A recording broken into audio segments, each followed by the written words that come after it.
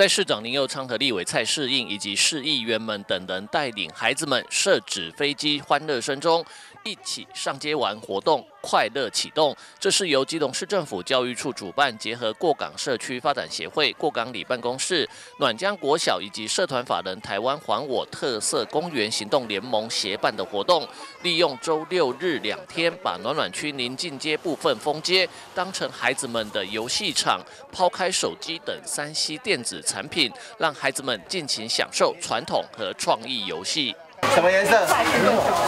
对，就是看场。市长林佑昌表示，这项活动是过港地区改造计划的一部分。过港社区是省政府时代建立的示范社区，对面的自来水公司宿舍群将由市政府财政处接管，未来做进一步的规划和使用，也包括未来宁静街整体环境的再规划。今天为什么在这个地方要办这个活动？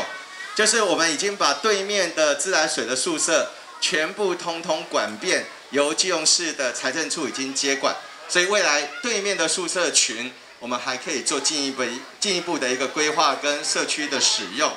还有一个是我们在呃过港街这边要做一条叫做示范道路，那我们在里面的宁静街，我们未来会做成是一个友善的徒步的环境，把现在我们的暖江国小。要接送非常不方便，旁边就是大马路，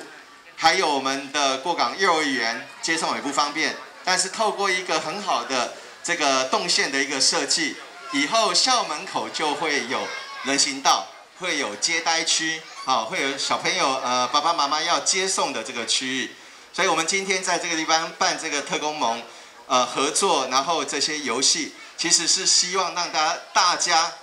重新去思考跟认识，如果未来临近街是可以封起来之后，变成是社区生活环境的一部分，